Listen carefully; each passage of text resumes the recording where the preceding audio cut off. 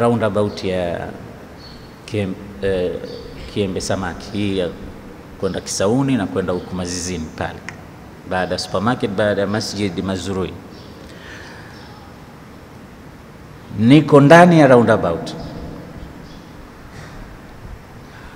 na mimi kwa kweli ndio nilikuwa na, na makosa, lakini makosa yenyewe yule mwenye chombo alikuwa mwenye Vespa, sijamuona. kwa sababu gari kile kioo cha mbele cha gari katika ile frame ile kuna sehemu kinapotoka kioo na mlango, mara nyingine pale huwezi ukaona mbele kuna kitu gani, na ajali nyingi zinatokea hiyo. Anakuja na chombo mtu mbio, sasa yuko sawa sawa na sehemu ile ile, angle huoni kule, mpaka labda ufanye hivi kidogo ndo unaweza ukaona.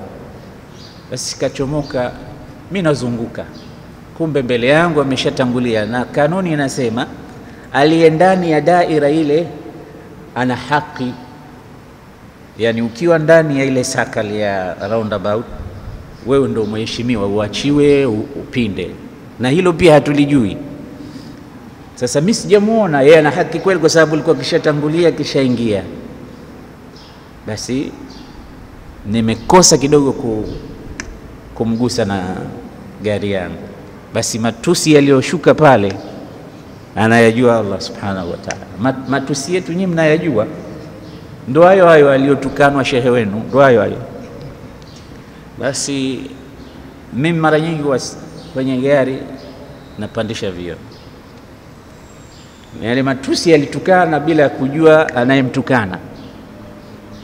Basi nikakanyaga akseleta mafuta, nikamfuata mpaka mbele huko, nikafungua kioo, nikamwambia asante sana. Sikurudisha matusi, nikamwambia asante, nimeshukuru. Nikaona kama amekuja yani amekuwa shock. Basi baadaye nikafunga kioo changu nikaendelea na, nilikuwa nakuja hapa msikitini, nikaendelea na safari yangu mpaka nikafika pale ninapopaki mara nyingi gari yangu. Sasa kupaki, kishuka namwona mtu na Vespa, kumbe kanifuata nyuma nyuma, yule yule kijana. Shekhe, bwana, mimi sikujua kama ni wewe, naomba nisamehe naomba radhi, sikujua kama ndo wewe. Kwa hiyo mimi peke yangu ndo unitukani, wengine wote unaweza ukawatukana. Alafu nikamwambia hivi kwa harufu kwamba leo umemtukana Uthman Maalim, shekhe wako, labda labda ndo katika vijana hapa hapa, labda tuna siku nyingine utamtukana mkwe wako, mkwe, baba mkwe. Siku nyingine unaweza ukamtukana hata kiongozi wa nchi, kwa sababu wewe unarembea tu. Ma, makosa tunafanya kwenye, lakini namna ile ya kuhandle zile problem za barabarani na lugha za barabara, vipi tunafanya, hii ni muhimu sana, na hii ina reflect tabia zetu sisi. Mtu ni tabia, ndugu zangu. Na sisi ndio viongozi wa kesho. Sisi sote hapa tuna nafasi ya kuja kuwa president wa nchi baadaye, kwa sababu wao marahisi tulikuwa nao katika sehemu kama hizi, hawakujua kama watakuwa viongozi. Msikiti huu Mheshimiwa Hussein Ali Hassan Mwinyi alikuwa akija kama hivi darsa kama hivi mimi nakumbuka alikuwa akikaa sana nyuma kule msikiti huu kabla hajawa rais.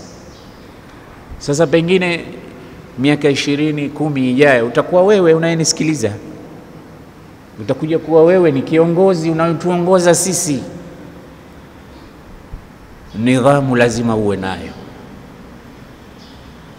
La, lazima uwe na akhlaq nzuri na suluk lazima uwe na sifa.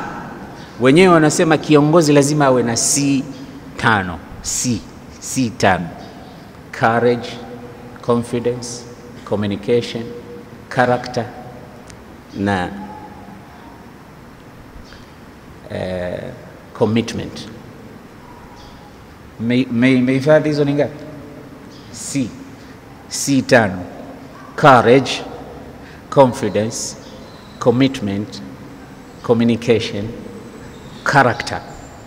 Self auditor umezihifadhi hizo, unazijua ziko ngapi hizo? Tano. Tuanze moja baada ya moja.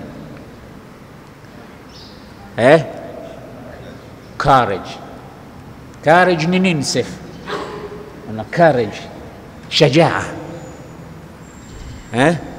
Shajaa, kiongozi lazima uwe na shajaa, yani ushujaa, nguvu ya kufanya jambo. Kama una hiyo, kaauzi ice cream. Kama una hiyo, si ya, ya, ya ngapi? Ya kwanza. Kama una hiyo, kauze ice cream.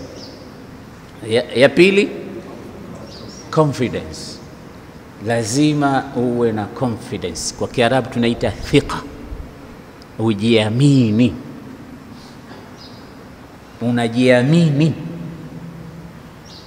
sio nitajaribu. Hapana.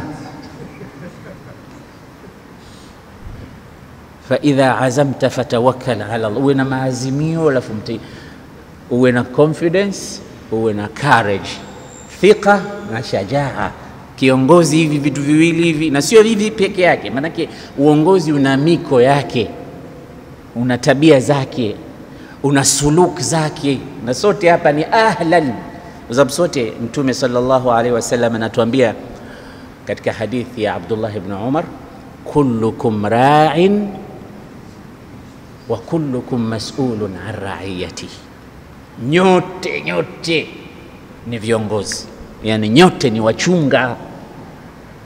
Nyote nyinyi mnaongoza, ni wachunga, mnachunga mambo. wa kullu ra'in mas'ulun an ra'iyatihi, na kila kiongozi ataulizwa alichokichunga, alichokiongoza. Kisha Mtume akatoa aka baadhi ya mifano. Akasema, falimamu ra'in wa mas'ulun an ra'iyatihi. Imam kwa maana kwamba kiongozi, si imamu tu hapa msikitini ukiwa hata kiongozi wa shule, kiongozi wa wanafunzi, kiongozi wa mtaa, kiongozi kiongozi yoyote, anasema ataulizwa aliongozaje. Falimamu rai, imamu au kiongozi ni rai, ni mchunga wa mas'ulun an raiyatihi, na ataulizwa alichokichunga. Akasema tena warajulu fi baitihi fi ahlihi rain na mtu mwanamme nyumbani kwake ni kiongozi, ni mchunga wa mas'ulun, na haachiwi hivi hivi, ataulizwa kuhusu alichokichunga. Wazaujatu, na mke fi baiti zaujiha, katika nyumba ya mumewe, raiyatun, naye pia ni kiongozi, naye pia ni mchunga.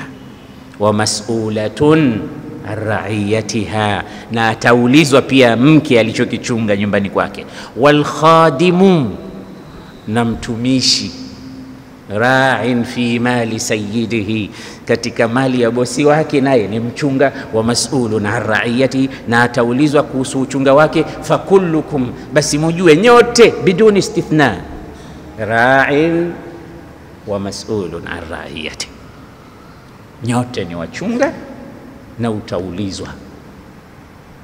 So umekuja na gari yako unasimamisha juu ya, ya barabara, tairi zote ziko juu, ndio umesha paki hapo, unaanza kuongea huko, hey, walipigwa mbili Man U 7 up nini?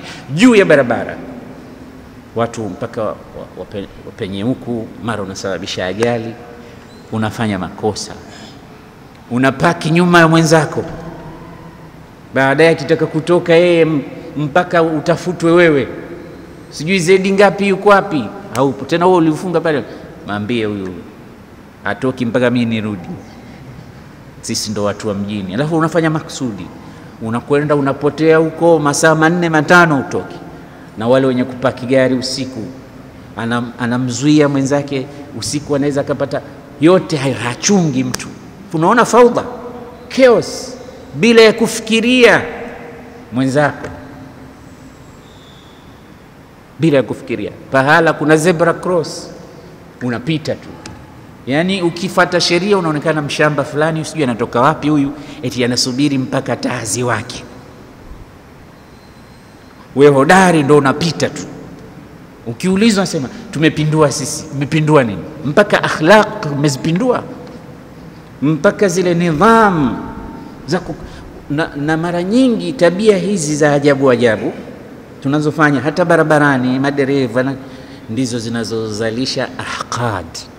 Tabia zozote chafu mbaya ndizo zinazozalisha chuki, alafu ikatokea watu kutopendana, alafu kukawa na visasi.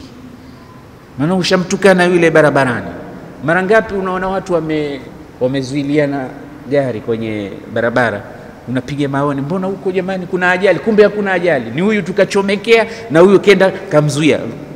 Public road, watu wanasubiri, watu wame, alafu ametoka mmoja amekaa pembeni.